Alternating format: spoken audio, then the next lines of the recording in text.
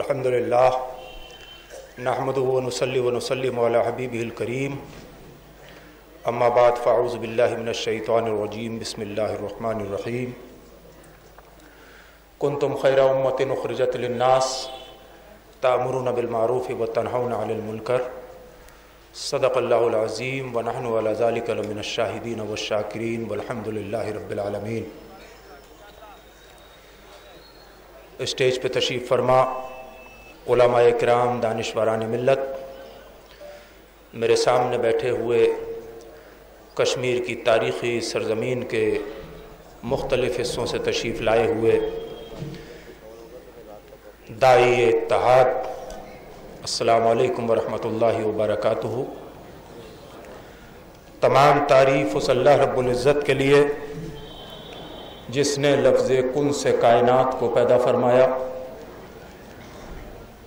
درود و سلام کی ڈالیاں پیش ہوں، گنبد خزرہ میں آرام فرمانے والے اس مکی کی بارگاہ میں،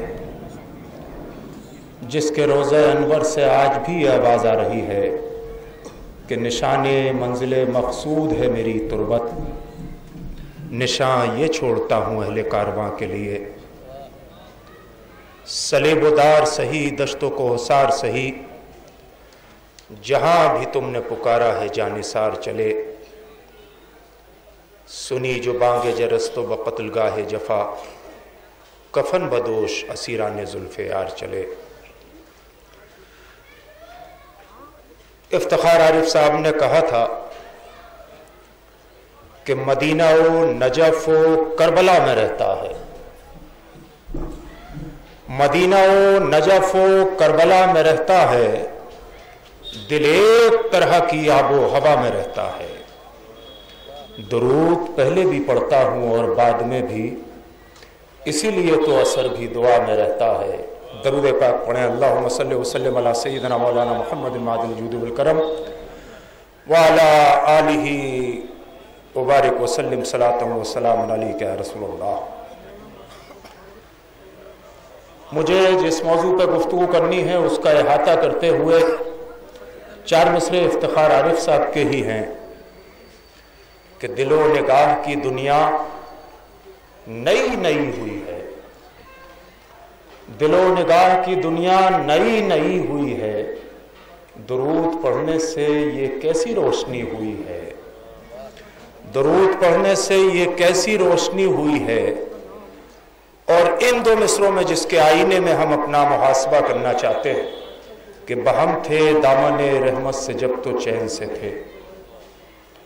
بہم تھے دامن رحمت سے، جب تو چین سے تھے جدا ہوئے ہیں، تو اب جان پر بنی ہوئی ہے۔ حضرات، اس تفصیل کے بعد میں سلام پیش کرتا ہوں شیعہ فیڈریشن صوبہ جموں کو، جنہوں نے اس ہفتہ وحدت کے حوالے سے ولادت مصطفیٰ صلی اللہ علیہ وسلم کے مبارک مہینے میں مختلف الخیال، مختلف المسلک، مختلف المذاہب، لوگوں کو ایک پلیٹ فارم پہ جمع کیا ہے اور ایک وہ آواز بلند کی ہے یہاں سے جس آواز کی پوری دنیا کو ضرورت ہے، کہ جس کے پتے پتے پر لکھا ہے قومی ایکتا، اس شجر کا ایک دن ہر گھر میں سایا جائے گا اور وہ عنوان ہے گلوبل پیس اینڈ یونٹی۔ اس لیے کہ دنیا میں کوئی بھی پروگریس پیس کے بغیر ممکن نہیں ہے۔ دنیا میں اتحاد کے بنا کبھی بھی انسان آگے نہیں بڑھ سکتا۔ چاہے وہ تہذیبوں کا تصادم ہو، پاورز کا تصادم ہو پولیٹیکل تصادم ہو، جب تک بھی چاہے وہ امپیریلزم کا تصادم ہو، چاہے سپر پاور بننے کا تصادم ہو، چاہے وہ ایٹمی پاور کا تصادم ہو جب تک یہ دنیا تصادم سے دو چار ہوتی رہے گی، اس وقت تک نہ امن ممکن ہے، نہ ترقی ممکن ہے۔ اگر انسانیت نے کبھی بھی ترقی کی ہے، تو امن کے سائے میں کی ہے۔ یہ ضرور بات ہے کہ کبھی کبھی امن کو قائم کرنے کے لیے ڈیفنسو بار میں اترنا پڑتا ہے۔ اسی لیے Islam has never permitted any kind of offensive war except defensive war اس لیے اگر دفاع کا نظام پوری دنیا کو کسی نے دیا ہے تو پیغمبر اسلام سرور کائنات صلی اللہ علیہ وسلم نے دیا ہے، جنہوں نے اپنی تیئیس سالہ نبوت کی زندگی میں بے شمار مار کے اور جنگوں میں شرکت کی۔ لیکن ایک ایگزامپل ایسا نہیں ہے کہ نبی نے کبھی بھی اپنے ہاتھ میں تلوار اٹھائی ہو یا میرے نبی نے کسی پر حملہ کیا۔ تو یہ نبی کریم صلی اللہ علیہ وسلم کی سیرت سے ہمیں ملتا۔ دوسرا ایک نظام جو پوری دنیا میں کوئی ایگزسٹنس قائم کرنے کے لیے، ایک پیسفل سوسائٹی قائم کرنے کے لیے، ایک پروگریس چلانے کے لیے، ملکوں کے بیچ اتحاد پیدا کرنے کے لیے، مذاہب کے بیچ اتحاد پیدا کرنے کے لیے۔ تہذیبوں کے بیچ اتحاد پیدا کرنے کے لیے، مختلف القیال قوموں کے بیچ اتحاد پیدا کرنے کے لیے اگر دوسرا کانسٹیٹیوشن اس دنیا کی تاریخ میں سب سے پہلے دیا ہے، تو وہ بھی میرے نبی کریم صلی اللہ علیہ وسلم نے ہجرت کے بعد میساک مدینہ کی صورت میں دیا ہے۔ تاکہ اگر تم کسی ایسے ملک میں زندگی گزار رہے ہو، جس میں مختلف المذاہب لوگ رہتے ہو مختلف تہذیبوں کے ماننے والے لوگ رہتے ہو مختلف زبانوں اور کلچر کو فالو کرنے والے لوگ رہتے ہو مختلف عقائد اور نظریات کے لوگ رہتے ہو ہو اور قرآن نے اس پر محل لگائی ہے، لکم دینکم ولی دین کہہ کے۔ جہاں ان الدین عند اللہ الاسلام فرمایا گیا، وہی میساق مدینہ کا جو کانسٹیٹیوشن ہے، اس کی شہادت لکم دینکم ولی دین کے ذریعے دی گئی ہے۔ لہذا آج اگر دنیا چاہتی ہے کہ پیسفل کو ایگزسٹنس قائم رہے، اگر دنیا چاہتی ہے کہ تہذیبی تصادم نہ ہو اگر دنیا یہ چاہتی ہے کہ انسانیت امن کے ماحول میں آگے بڑھے، اگر حکومتیں اور مختلف بڑے ملک یہ چاہتے ہیں کہ اللہ کی زمین پر خوریزی نہ ہو، بنی آدم تمام اتحاد کے ساتھ رہیں، تو ان کے لیے میرے نبی کریم صلی اللہ علیہ وسلم کی سیرت ایسا نمونہ ہے جسے جتنے بھی ہسٹورین ہیں جنہوں نے چاہے دی ہنڈریڈ انفلوئنشیل مین لکھی ہو یا دی ہنڈریڈ بکس لکھی ہو، جہاں دی ہنڈریڈ بکس لکھنے والا انسان بھی کرسچن ہے، وہ پہلے مقام پر قرآن عظیم کو رکھتا ہے۔ اس لیے کہ قرآن عظیم کے نزول کے ساتھ اللہ رب العزت نے اس کے تحفظ کی گارنٹی دی ہے کہ اننا نحن نزل ذکر و اننا لہو لحافظون۔ اور وہیں جب دی ہنڈریڈ انفلوئنشیل مین لکھا جاتا ہے تو کرسچن ہونے کے باوجود میرے نبی کریم صلی اللہ علیہ وسلم کے نام نامی کو سب سے پہلے رکھا جاتا ہے۔ اس لیے کہ دنیا میں پیغمبروں کی زندگی میں بھی اور بہت سارے نامور لوگوں کی زندگی میں ایسا کوئی مکمل چہرہ نہیں ہے۔ کسی کی زندگی میں بچپن نہیں ہے، کسی کی زندگی میں جوانی نہیں ہے، کسی کی زندگی میں بڑھاپا نہیں ہے، کسی کی زندگی میں غربت نہیں ہے، کسی کی زندگی میں یتیمی نہیں ہے، کسی کی زندگی میں بیواؤں کے ساتھ سلوک کرنے کی رواداری نہیں ہے۔ ایک پیغمبر اسلام سرور کائنات صلی اللہ علیہ وسلم کی ایسی شخصیت ہے کہ آپ جس اینگل سے دیکھنا چاہو گے، جو بچپن میں رہنے والے ہیں۔ اگر وہ بچپن میں شیر خوارگی کے عالم میں امن اور انصاف کو آگے بڑھانا چاہتے ہیں، تو میرے نبی کریم صلی اللہ علیہ وسلم کا دائی حلیمہ کے گود میں دودھ پیتا ہوا زمانہ ان کے لیے مثال ہے۔ جنہوں نے دائی حلیمہ کی گود میں دودھ پیتے وقت سوشل جسٹس کا بنیاد رکھا ہے، فاؤنڈیشن رکھا ہے۔ دنیا میں جتنے بھی لوگ، چاہے وہ مہاتما گاندھی بن جائیں یا نینسل منڈیلا، بڑے بڑے جو لوگ بنتے ہیں، یا جون ایف کنیڈی، اگر وہ آواز بلند کرتے کے لیے پیس کے لیے ریفارم کے لیے، تو ایجوکیٹڈ ہونے کے بعد، بڑے ہونے کے بعد، شعور کی منزلوں سے آشنا ہونے کے بعد، لیکن قربان جائیے نبی کریم صلی اللہ علیہ وسلم پر کہ جب وہ اپنی ماں حضرت آمنہ کی گود میں ہوتے تھے، تو ان کے دونوں پستانوں سے اپنی ماں کے اکلوتے بیٹے تھے، اس لیے دونوں سائڈ سے دودھ پیتے تھے۔ اور جب دائی حلیمہ کی گود میں جاتے ہیں، تو دائی حلیمہ کا اپنا اپنا ایک اصل بیٹا بھی موجود تھا عبداللہ کے نام سے، جو حضور نبی کریم صلی اللہ علیہ وسلم کا رضائی بھائی تھا تو رسول کریم صلی اللہ علیہ وسلم دائی حلیمہ کے دانے پستان سے دودھ پیتے تھے اور بائیں پستان کا دودھ اپنے بھائیوں کے لیے چھوڑ دیا کرتے تھے، جس کو مولانا احمد رضا خان بریلی کی سرزمین سے یوں پکارتے ہیں کہ بھائیوں کے لیے ترک پستہ کریں۔ دودھ پیتوں کی عادت پر لاکھوں سلام۔ چنانچہ دائی حلیمہ نے کافی کوشش کی کہ نبی بائیں پستان سے بھی دودھ پی لیں۔ اس لیے کہ یہ ماں کا نیچر ہے کہ جب تک وہ بچے کو دونوں سائڈ سے دودھ نہیں پلاتی، جب تک اسے سیٹسفیکشن نہیں ہوتا۔ اور یہ بچے کا نیچر ہے کہ بچہ جب تک دونوں سائڈ سے دودھ نہیں نہیں پی لیتا، اس کو سیٹسفیکشن نہیں ہوتا۔ لیکن یہ بچہ اپنی ماں کی گود میں تو بچپن پہ گردش کر رہا تھا، لیکن دائی کی گود میں دودھ پیتے ہوئے نبوت پہ گردش کر رہا تھا۔ اس لیے کہ انہیں زمانے کے لیے مثال بننا تھا۔ چنانچہ ایک سائڈ سے دودھ پیتے ہیں، اور جب سائنس کی لیبورٹریز جوان ہوتی ہے جب یہ ریسرچ ہوتی ہے، تو آج کی ریسرچ یہ ثابت کرتی ہے کہ عورت کے بائیں پستان میں دودھ زیادہ ہوتا ہے، دائیں پستان میں دودھ کم ہوتا ہے۔ تو جس سائڈ سے دودھ کم تھا، اس سائٹ سائڈ سے نبی کریم صلی اللہ علیہ وسلم پی رہے تھے اور جس سائڈ سے زیادہ تھا وہ اپنے دوسرے رضائی بھائی کے لیے چھوڑ گئے۔ یہ ہے نبی کریم صلی اللہ علیہ وسلم کا سوشل جسٹس۔ دنیا میں لوگ لیڈر بننے کے بعد سوشل جسٹس کی بات کرتے ہیں۔ ڈگریاں حاصل کرنے کے بعد سوشل جسٹس کی بات کرتے ہیں۔ سیاسی یا سماجی زندگی میں اترتے ہیں تو سوشل جسٹس کی بات کرتے ہیں۔ لیکن میرے نبی نے سوشل جسٹس کا فاؤنڈیشن دائی حلیمہ کی گود میں دودھ پینے کے زمانے میں رکھا ہے۔ اب آئیے دنیا کی تاریخ میں اور دنیا کے پس منظر میں قرآن کی اس آیت کی نظر میں ذرا اپنے چہرے کو دیکھ لیجیے۔ کہ کن تم خیر امت اخرجت للناس تامرون بالمعروف و عن المنکر۔ تم بہترین امت ہو۔ تمہیں معاشرے میں بھیجا گیا ہے تاکہ لوگوں کو برپا کیا گیا ہے، تاکہ لوگوں کو اچھائیوں کا حکم دو اور برائیوں سے روکو۔ آپ کو بہترین امت کا خطاب دیا گیا۔ کس لحاظ سے بہترین امت ہو؟ اور درمیانی امت کا بھی خطاب دیا گیا۔ یعنی مڈل امت ہو تم۔ ہونا تو یہ چاہیے تھا کہ ہمارے نبی خاتم النبیین، سب سے آخری نبی، ما کانا محمد الباحد رجالکم، ولیکن رسول اللہ و خاتم النبیین، وکان اللہ بکل شہین علیمہ جن کے لیے فرمایا گیا۔ تو امت کو بھی آخری ہونا چاہیے تھا۔ یا نبی، اپنی پیدائش کے اعتبار سے اول ما خلق اللہ نوری وکل الخلائق من نوری وانا من نور اللہ۔ اگر اس اینگل سے دیکھیں تو نبی کریم صلی اللہ علیہ وسلم کے نور کو اللہ نے اپنے نور سے پیدا کیا۔ آپ کا ارشاد گرامی کنت نبی ہوں آدم بین الماء والجسد کہ میں اس وقت بھی نبی تھا جب نور حضرت آدم علیہ السلام روح اور جسم کی منزلیں طے فرما رہے تھے۔ لہٰذا یا تو امت کو اس اینگل سے پہلی امت ہونا چاہیے تھا، یا امت کو آخری امت ہونا چاہیے تھا۔ لیکن امتوں کو ستلی تکون شہدا کہنے کے بعد قرآن نے ہمیں درمیانی امت کہا، نبی آخری نبی امت درمیانی اس لیے کہ قرآن گفتگو کرتا ہے عقیدے اور نظریے کے اعتبار سے، سدھانت اور آئیڈیالوجی کے اعتبار سے۔ اس لیے امتوں کی تین قسمیں ہماری نگاہوں کے سامنے آتی ہیں۔ ایک امتیں وہ ہیں جنہوں نے اپنے نبیوں کے ساتھ افراد کیا اور دوسری امت وہ ہے جنہوں نے اپنے نبیوں کے ساتھ تفرید کیا۔ کچھ امتوں نے اپنے نبی کے چند معجزے دیکھے تو انہیں خدا یا خدا کا بیٹا کہہ کر پکار دیا۔ اور کچھ امتوں نے اپنے نبی کو اپنی طرح تجارت کرتے ہوئے، اپنے طرح معاشرے میں زندگی گزارتے ہوئے اپنی طرح کھاتے پیتے دیکھا تو انہیں اپنے جیسا بشر کہہ کر پکار دیا، ان پر ظلم کیے، ان کو قتل تک کیا۔ لیکن امت محمدیہ کا اعزاز یہ ہے کہ اس نے مقام صحبہ میں حضرت علی کے لیے سورج کو پلٹاتے ہوئے دیکھا ان کی اثر کی نماز کے لیے۔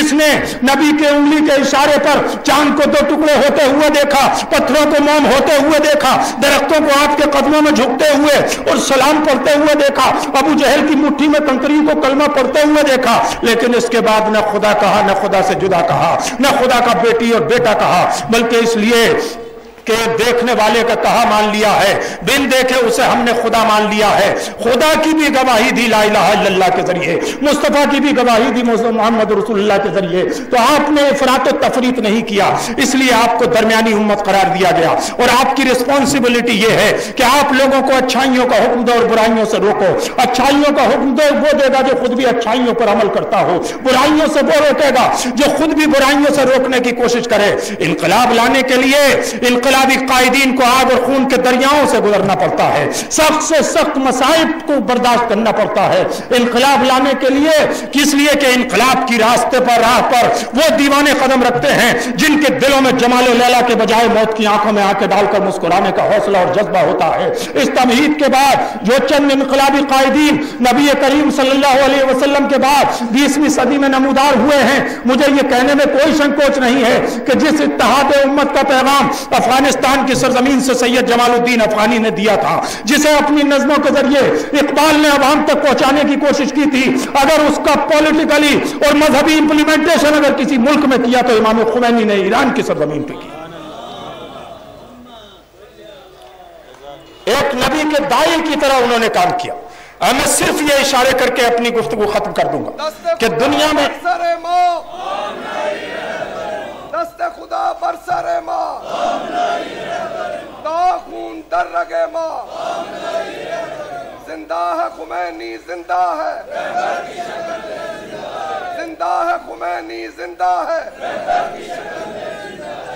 اب فارمولہ نبی کریم صلی اللہ علیہ وسلم کی زندگی سے۔ اس لیے کہ پانچ منٹ کا ٹائم میرے پاس باقی ہے اور اس میں اپنی گفتگو ختم کر دوں گا۔ اس لیے کہ پوری دنیا کی جغرافیائی اعتبار سے اگر آپ جائزہ لیں، تو دنیا میں اس لیے کہ آپ کو امن کا پیغمبر بنا کے بھیجا گیا ہے۔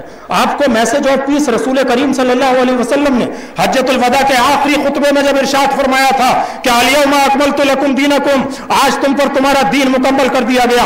وہیں پر یہ بھی ارشاد فرمایا تھا کہ فیبلغ الشاہد عن الغائب یعنی impart the message to every one اب جب تک یہ صبح قیامت تک، جب تک یہ دنیا قائم رہے گی، کوئی نبی نہیں آنے والا ہے۔ لیکن نبی کے وارثین علماء کی صورت میں، نبی کا پیغام پہنچانے والے عاشق ہو نبی کی صورت میں اولیاء کرام اکرام کی صورت میں، اہل بیت اطہار کی صورت میں ہمیشہ آپ کے بیچ موجود رہیں گے۔ لہٰذا پوری دنیا کا اگر آپ جائزہ لیں اور مسلمانوں کے لیے یہ درس عبرت ہے کہ پوری دنیا میں یا تو مسلم کمیونٹی اقلیت میں ہے یا مسلم کمیونٹی اکثریت میں ہے، صرف دو ہی طریقے ہوتے ہیں۔ یا تو کہیں آپ اقلیت میں زندگی گزارتے ہیں یا کہیں اکثریت میں زندگی گزارتے ہیں۔ اگر آپ اقلیت میں زندگی گزار رہے ہیں تو ہجرت سے قبل میرے نبی کی مکی کی زندگی آپ کی نگاہوں کے سامنے ہونا چاہیے کہ اقلیت میں ہونے کے بعد کس مسلحت سے زندگی کا سفر طے کیا جاتا ہے۔ کہ اگر خانہ کعبہ میں عبادت سے روک دیا جائے تو نبی اس پر حجت نہیں کرتے ہیں۔ اگر کوڑا ڈالنے والی عورت ڈیلی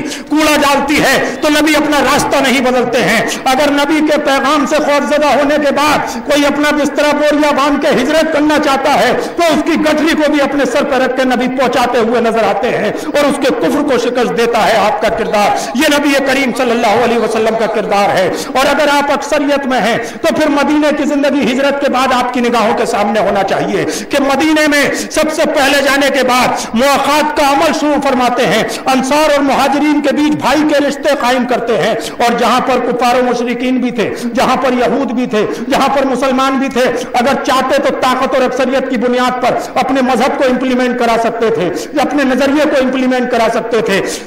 اسلامی گورنمنٹ قائم کر سکتے تھے، لیکن آپ نے میساق مدینہ کا کانسٹیٹیوشن بنا کر لیو اینڈ لیٹ لیو کا فارمولا دیا پوری دنیا کو۔ اور یہ کہا کہ سیاسی اور سماجی اعتبار سے ہم تینوں لوگ یونائٹ ہیں کہ اگر کوئی مدینہ پر حملہ کرے گا تو متحد ہو کے دفاع کیا جائے گا۔ اگر کوئی ایک دوسرے کے مذہب کو برا نہیں کہے گا، ایک دوسرے کی عبادت گاہ کو نشانہ نہیں بنائے گا۔ یہ دنیا کو ڈیموکریسی کا نظام دینے والا کون ہے۔ محمد رسول اللہ صلی اللہ علیہ وسلم کی ذات ہے۔ اور اس کے بعد اکثریت ہی کے زمانے میں جب صلح حدیبیہ کرتے ہیں تو بعض اجلہ اصحاب کرام یہ چاہتے ہیں کہ صلح حدیبیہ اتنی جھک کر اور دب کے مخالفین کے کمپرومائز کر کے ان کے ساتھ، ان کی شرائط پر نہ کی جائے۔ یہاں تک کہ جب عہد نامہ لکھا جاتا ہے اور اس میں محمد رسول اللہ لکھا جاتا ہے تو کفار و مشرقین کہتے ہیں کہ جھگڑا تو اسی بات کا ہے کہ ہم آپ کو رسول نہیں مانتے۔ تو نبی کریم صلی اللہ علیہ وسلم اس عہد نامے پر اپنے ہاتھوں سے محمد رسول اللہ کاٹ کر محمد ابن عبداللہ لکھ دیتے۔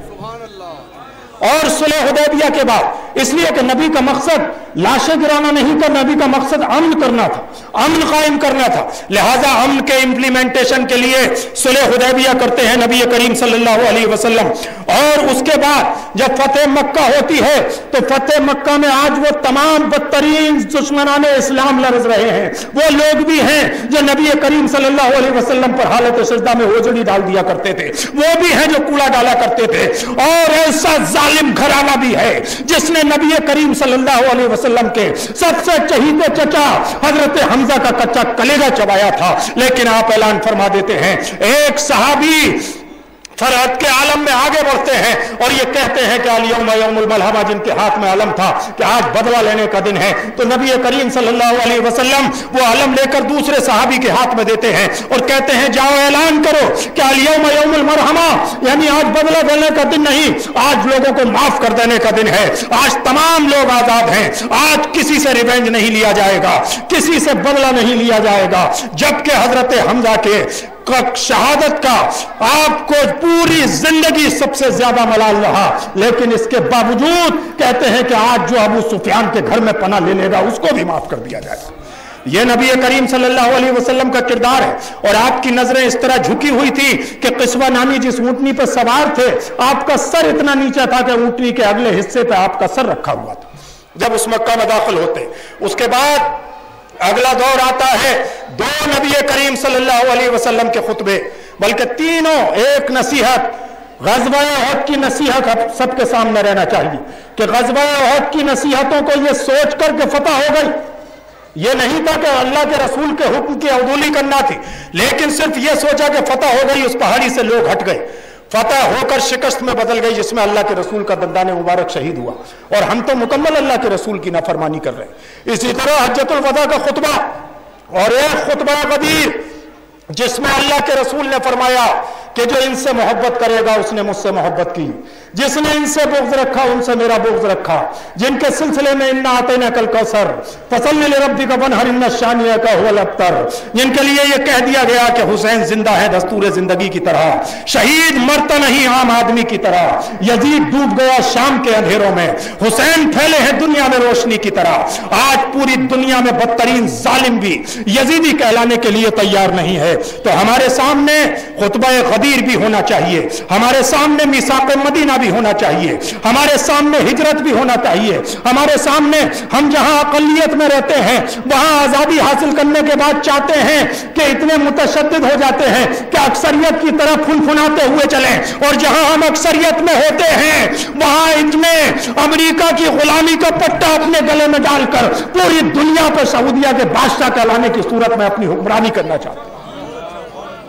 دو تصویریں ہیں آپ کے ساتھ۔ لہذا اگر ہندوستان کی سرزمین میں اقلیت میں ہے، تو میرے نبی کی مکی زندگی پہ عمل کرو مسلحتوں کے ساتھ رہو۔ اتقو فراست المومن لئنہ ہوئی انظرو بنور اللہ ایمانی فطرت کے ساتھ چلو، لوگوں کے لیے نفع بخش بنو، خواجہ غریب نواز کی طرح، شاہ حمدان کی طرح، نظام الدین اولیاء محبوب الہی کی طرح۔ جنہوں نے فرمایا تھا کہ اگر دنیا نفرتوں کے کانٹے بچھاتی ہے، تو اس کے جواب میں محبتوں کے پھول بچھاؤ۔ تم بھی کانٹے بچھاؤ گے تو دنیا کانٹوں سے بھر جائے گی۔ جگر مراد آبادی نے کہا تھا، ان کا جو فرض ہے وہ اہل سیاست جانے، میرا پیغام محبت ہے جہاں تک پہنچے۔ بشیر بدر نے کہا کہ سات صندوقوں میں بھر کر دفن کر دو نفرتیں۔ آج انسان کو محبت کی ضرورت ہے بہت۔ لہٰذا آئے محبت کے پروانوں اٹھو۔ محمد رسول اللہ صلی اللہ علیہ وسلم کی امت اٹھو۔ اور اپنا سب کچھ قربان کر کے دین کو کربلا کی سرزمین میں بچانے والے اہل بیت کے دیوانوں اٹھو اور پوری دنیا پر امن کی گھٹا بن کر چھاؤ۔ اپنے بدترین دشمن کو معاف کرنے کا کلیجہ رکھو۔ اپنے بدترین دشمن سے صلح کرنے کا جذبہ رکھو۔ لوگوں کے لیے نفع بخش بناؤ اس لیے کہ یہ سماج تو آپ کے پیچھے اس طرح چلے گا کہ ہم خود ہی بنا لیں گے۔ امام آپ کو اپنا پہلے کسی دریا پہ مسلح تو بچھا لو۔ سماج کے لیے نفع بخش بنو۔ نبی کریم صلی اللہ علیہ وسلم کی سیرت اپنی نگاہوں کے سامنے رکھو۔ انشاءاللہ العزیز انقلاب آئے گا۔ پوری دنیا پیسفل بنے گی۔ اس لیے کہ ظلم کی عمر بہت زیادہ نہیں ہوتی ہے۔ ظلم پھر ظلم ہے، بڑھتا ہے تو لک جاتا ہے۔ خون پھر خون ہے، ٹپکے گا تو جم جائے گا۔ اور ہم امن چاہتے ہیں مگر جنگ کے خلاف۔ اگر جنگ لازمی ہے تو پھر جنگ ہی صحیح۔ اسلام زندہ باد، پیغمبر اسلام پائندہ باد۔ اور لاسٹ میں یہ بات اور کہہ دوں کہ جس طرح امام خمینی نے جو کارنامہ انجام دیا تھا اور جو اتحاد کی بات کی تھی، حالانکہ کبھی بھی جو اتحاد کی بات اہل سنت اور اہل تشریح کے بیچ ایران کے کلیرکس نے کہی ہے، اس کا رسپانس جس طرح سعودی عربیہ کی سرزمین سے آنا چاہیے تھا، وہ کبھی نہیں آیا۔ وہ کبھی نہیں آیا۔ جو آنا چاہیے تھا چاہے یہ پوری دنیا گلزار بن جاتی۔ اسی طرح ہمیں ہندوستان کی آزادی کی یاد آتی ہے جب عراق کی سرزمین میں قدم رکھتے ہیں، تو علامہ سیستانی کے ایک فتوے، جو اثر یہاں علامہ فضل خیر آبادی کے فتوے نے اٹھارہ سو ستاون میں کیا تھا، جس کے نتیجے میں انیس سو سینتالیس میں ہمیں آزادی ملی۔ وہی اثر ان موجودہ یزیدیوں آئی ایس آئی ایس اور داعش کے خلاف ایک فتوہ علامہ سیستانی کا آتا ہے اور تمام سویلین، اس میں کرسچن بھی تھے، اس میں مسلم بھی تھے، اس میں شیعہ بھی تھے، اس میں سنی بھی تھے، اپنی کنٹری کو بچانے کے لیے لڑتے ہیں تو آئی ایس آئی ایس کا عراق کی سرزمین سے خاتمہ کر دیتے ہیں۔ اس لیے ظالم کو کبھی اپریشیٹ نہیں کیا جا سکتا، چاہے ظالم اپنا بھائی ہو، بھتیجا ہو، خاندانی ہو، کمیونٹی کا ہو، برادری کا ہو۔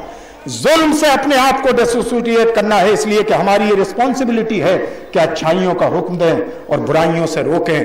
وآخر دعوانا ان الحمدللہ رب العالمین۔ اسلام زندہ باد، ہندوستان پائندہ باد۔ بہت بہت شکریہ۔